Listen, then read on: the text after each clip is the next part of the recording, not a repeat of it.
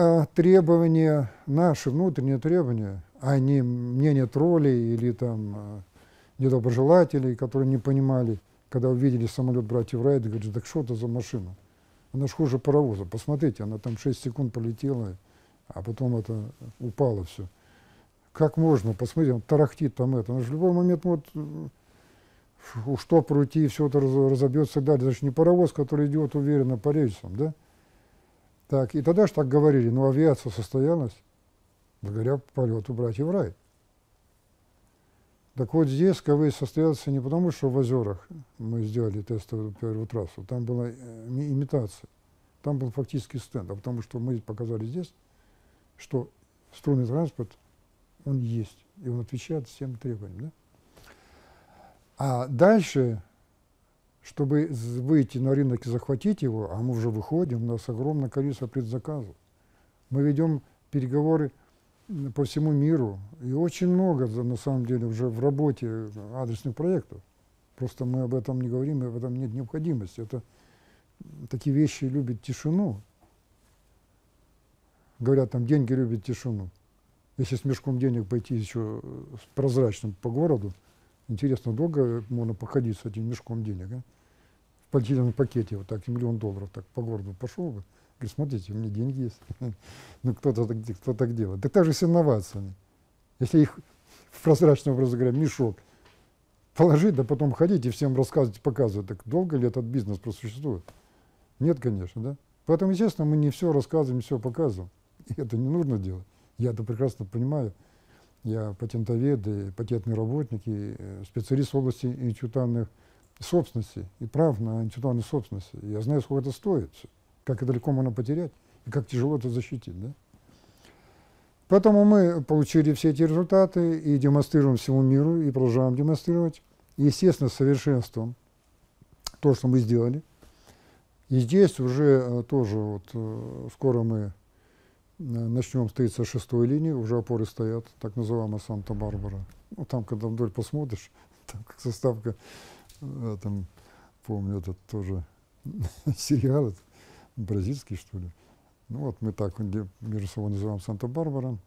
Она скоро там будет путевая структура, именно та, э, которая будет удовлетворять э, требованиям по долговечности 100 миллионов циклов. И там пришлось э, для в силовых элементах отказаться от сварки, потому что перейти на высокопрочные болты, где трение держит, зажимается болтами высокопрочными. Сейчас и мосты собственно, все переходят тоже на это.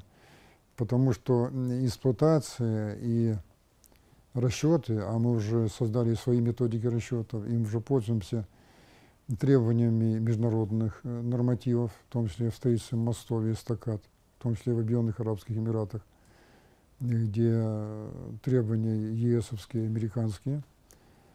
Э, и вот по циклике, когда много циклов нагружения, вот строительство, например, там стационарная нагрузка. Там широко используется сварка. То, что вот нагрузка, вес, там даже снеговая нагрузка, ну что, раз в год насыпало снега, нагрузка увеличилась. Ну, это как статическая нагрузка, там нет циклов. Ну, цикл один раз в год. А у нас же каждый пресс колеса – это цикл. Если взять даже просто проволочку, вот так вы начинаете ее гнуть, вот много циклов, то со временем начнет нагреваться, а потом ломается – то, что материал устает и разрушается. Есть требования к, э, это уже опробировано на практике, в том числе в мостостроении, какие напряжения допустимы, например, вот в циклике, чтобы выдержать там не меньше 100 миллионов э, циклов нагружения, а, а эта срок службы не менее 100 лет. И оказалось, что, например, сварка в статике может держать там 2, 3, даже 5 тысяч килограмм на квадратный сантиметр. И у нас есть э, сварные конструкции равнопрочные, где такая вот э, прочность сварки. То есть она в сварном э, шве прочность равна основам металла. То есть она равнопрочная. Да? Но в циклике многие нормативы, многие странах нормативы допускают напряжение, если вот 100 миллионов циклов, в сварке не более 250 килограмм на квадратный сантиметр. Поэтому не важно, что сварка прочная она не выдержит циклику и развалится лет, там, через 10, 20, 30 лет. Да? Естественно, мы столько лет не испытываем. И у нас нет такого количества циклов, но мы можем это прогнозировать, мы можем считать, и в том числе обращаясь к той, тому опыту, который получен, получен в других странах. Так? И поэтому мы здесь, например, пришли на болтовые, э, на высокопрочные болты. Естественно, это требовало, потребовало перепроектирования всей системы. Поэтому я в свое время, когда это понял, я остановил стройку. Мы вообще могли ту путевую построить еще в прошлом году. Но мы до сих пор еще не строим. И вот сейчас, вот э, уже скоро начнется строительство путевой, где как раз вот эти требования все учтены где есть э, полюбившаяся всем э, будет головка рельса, всем троллям, они где, где, где головка рельса, ай-яй-яй, все там будет. Причем головка рельса, которая простоит сто лет. И там будет ровность пути такая, какая нужна. И э, подвижный состав будет таким, как нужно, чтобы выйти на рынок. Уже действительно с серийной продукцией, а не что-то похожее на э, то, что было раньше, как, допустим, вот в мобильную связь эти и так далее, ведь мобильник стал особенно популярен, когда появился iPhone. Это была заслуга Стива Джобса, и даже не его, потому что это не его разработка. Он просто поддержал тех, кто пришел к нему с этой разработкой, на самом деле. Так это же появилось решение не сразу, когда э, это, Apple была создана компания, а лет через 30 после создания Apple. А мы-то вот существуем здесь всего-то пять лет, так? И уже у нас решения, вот, которые такого уровня, как iPhone, допустим, мобильной связи, да, они есть, и сейчас это вот уже э, э, все продемонстрировано. При этом нам пришлось перезаключать договоры с поставщиками металла, проката, оборудования. Э, пришлось разрабатывать новые технологии строительства монтажа причем такую, чтобы потом использовать э, в строительстве адресных проектов, э, проектов э, поточным методом, когда, чтобы скорость строительства была выше и так далее. При этом это все делается для условий северной страны. У нас бывают морозы, у нас, как ни странно, зимой идут, идет снег. Это может быть для коммунальщиков там неожиданность, что о, опять зима, опять надо снег, и опять мы не готовы убирать его. Так мы-то знаем, что зимой это будут морозы и снег и так далее, да, и поэтому, естественно, все это проектируется под э, вот эти требования, требования северной страны. Но сейчас мы активно работаем в Эмиратах, и там очень много заказов, и там есть очень серьезная поддержка. Но там совсем другой климат. Ну нельзя, допустим, сделать автомобиль э, для Африки, легко, а потом говорить, купите для Сибири. Какая разница? Ну, ну, там в Африке же ездят, там же, ну, жарко, а у вас там холодно, ничего. Так каждый автомобиль надо да, проектировать для определенной климатической зоны. Даже автомобиль. И, и, все, все остальное. И тоже самолет, э, понимая, что он поднимается на высоту больше 10 километров, где температура воздуха падает до минус 50 градусов, и неважно, где он летает, в Африке или на севере, он должен спроектирован в том числе на такую температуру. Потому что он летает на большой высоте, где очень холодно. Да? То есть надо понимать, в каких условиях, в том числе экстремальных, будет эксплуатироваться техника. И это относится и к СКВ. Так вот, условия в Эмиратах совсем иные, чем в Беларуси или там в России. Или, я не знаю, если в Финляндии будем строить, или в Великобритании, или даже там в Канаде. Там совсем другие условия, это тропики. Более того, там еще пустыня. А пустыня – это очень большие проблемы. Вот у нас, э, для транспортников имеется в виду, у нас снег и вечно проблема и борьба со снегом зимой, и с обледнением, с наледью э, и так далее. А там э, с песком, и можно в интернете даже поискать ролики про Эмираты, когда там километры дорог засыпаны песком, когда нельзя просто ехать автомобилю. И они каждый день вынуждены чистить от песка дорогу, как у нас зимой от снега. Причем э, песок более агрессивный, чем снег. Он же попадает в узлы, в, там, куда угодно, в двигатель может попасть, и все это просто выйдет из строя. Потому что и мелкие частички э, пыли залазят в любую щель. Так?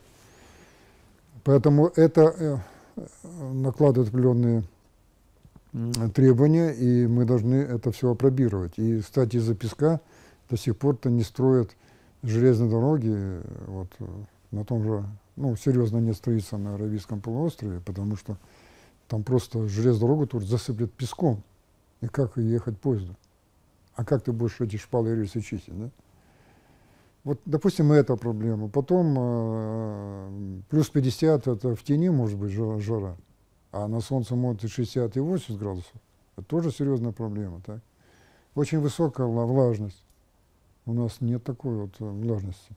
А там, когда выходишь из офиса или там с автомобиля, где кондиционер, такое ощущение, что ты попал в сауну. Все сразу запотевает, ты просто ничего не видишь. Такое ощущение, что ты в сауну попал. Да? Так, естественно, машина же должна испытывать, ну, работать каждый день в таких условиях. А, солей много агрессивных в воздухе, в почве. Это тоже очень серьезная проблема. И не факт, что те небоскребы, что построены, там простоят долго, потому что там идет разрушение и фундамента, и арматуры фундамента. Потому что тоже серьезная проблема, мы должны это тоже учитывать. Да? Ну и э, то, что, допустим, э, транспорт должен быть электрифицирован, а здесь в силу ряда обстоятельств, о которых я говорил, мы э, не сделали электрификацию путевых, потому что мы ездим здесь только на накопителях энергии, ну, как электромобиль. Да? А лучше, когда он работает транспорт, эффективнее э, это сделать, когда он работает как трамвай или как троллейбус, когда есть контактная сеть. А у нас несколько вариантов контактной сети. И э, в силу ряда обстоятельств мы, естественно, вот пять линий, которые построили, мы их не электрифицировали, путевую структуру. А вот шестая линия, вот так называемая Санта-Барбара, там и будет электрификация. Да, ферма здесь электрифицирована, но это для испытаний, там она не выдержит э, тех штатных э, напряжений, токов и так далее. Это просто для апробации, без э, соответствующих мощностей. А вот там э, путевая будет сделана так, чтобы и в том числе могли ездить тяжелые машины, юниконты весом э, с грузом 35 тонн. Мне, тоже я как сказал в своем выступлении, вот 35 тонн грузом. Мне говорят, ой, он же Юницкий же обещал 50 тонн машину. Так это груз 35. А машина, естественно, тяжелее. И даже не 50, а 52, 55 тонн будет. Да? А, вот такие машины. И Э, с мощностью иногда развиваемой до 1000 киловатт, когда большие мощности нужны при разгоне, и когда мы, э, допустим, едем в гору с уклоном определенным. Да? Поэтому мы должны пробировать вот и такие нагрузки. И как раз вот эта трасса стро, стро, вот строится с учетом всех этих требований. И то есть мощность запитки участка трассы где-то порядка 1000 киловатт. Это достаточно серьезная мощность.